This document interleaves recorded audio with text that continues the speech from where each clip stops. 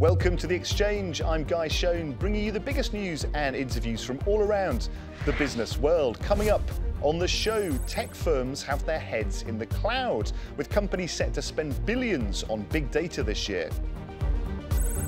And how far will companies go to protect the privacy of their users? We head to Hong Kong, where that particular tug of war is more fragile than ever.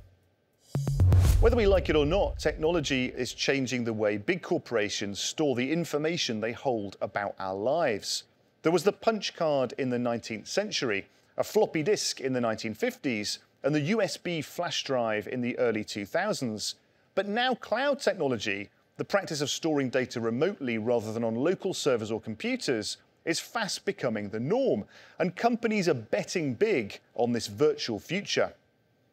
Well, spending on big data and analytics solutions is fast approaching a value of $215 billion. Well, that figure is set to grow nearly 13% by 2026. And IT services and software solutions are the two biggest segments companies are looking to expand.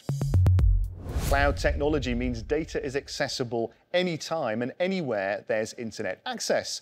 Experts say that as cloud tech improves, the service will become less and less expensive.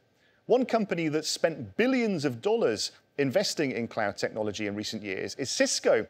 Chintan Patel, who's Chief Technology Officer in the UK and Ireland, joins me now.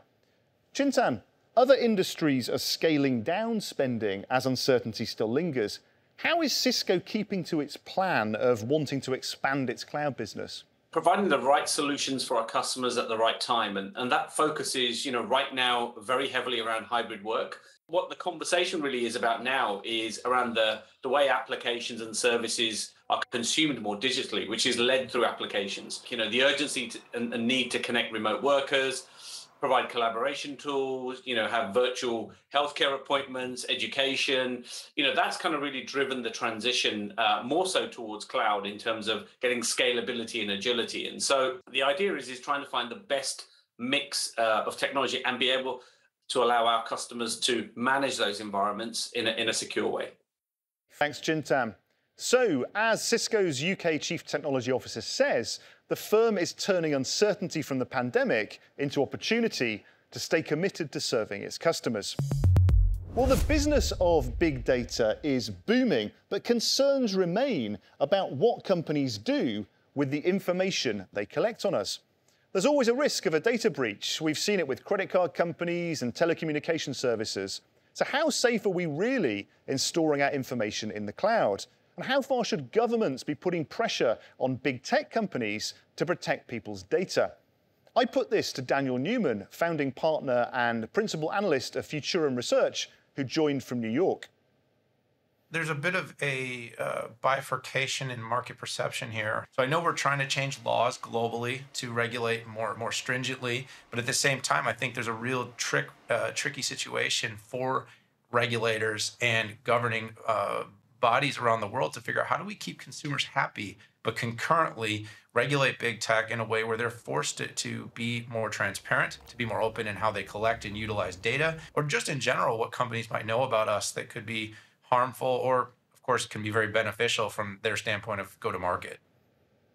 Interesting points there. A delicate balance of regulating tech firms, but also ensuring the benefits of new technology. The data and privacy tug of war is more fragile in places like Hong Kong, which has seen widespread anti government protests. Authorities recently changed its online privacy law to what it says protects people from doxing, which is the act of maliciously exposing a person's data online. But critics, including big tech firms, are questioning if it's a tool against the freedom of expression. And how do Hong Kongers feel about all this? Joel Flynn finds out for us. Well, Guy, Hong Kong has been considered a gateway to China for well over 100 years, but changes that are happening here are threatening to put its future into question. Data privacy laws are in the midst of a potentially generational shift, and not everyone here thinks it's for the better. After authorities successfully quashed the unrest last year, attention swiftly turned to Hong Kong's laws on data, and now a new front has opened up online particularly in the year nine, uh, 2019, uh, there were about 5,000 cases. um, where people's personal information personal data was used uh, in a uh, intimidating way. Now the law has been changed, so doxing is now criminalized. The changes may mean many here have different expectations for data privacy than they did a few years ago. I think it's a bit stricter here than elsewhere, right? Uh, but I still think it can be worked on and tightened up.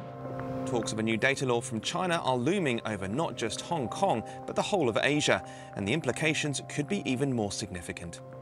The PIPL would apply in Hong Kong or anywhere else in the world if somebody, let's say in Hong Kong or a company in Hong Kong, is providing goods or services to people in China or monitoring their behavior.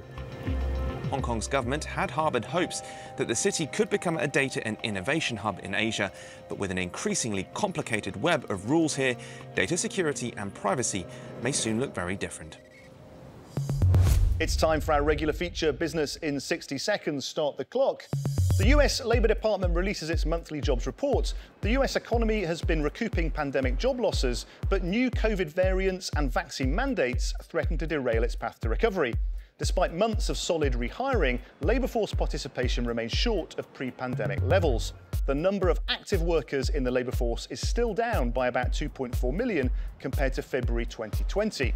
The Eurozone reveals retail sales data for the month of December. The holiday season is traditionally a month of robust spending, but a fourth wave of COVID 19 cases hitting the continent may have caused people to stay at home.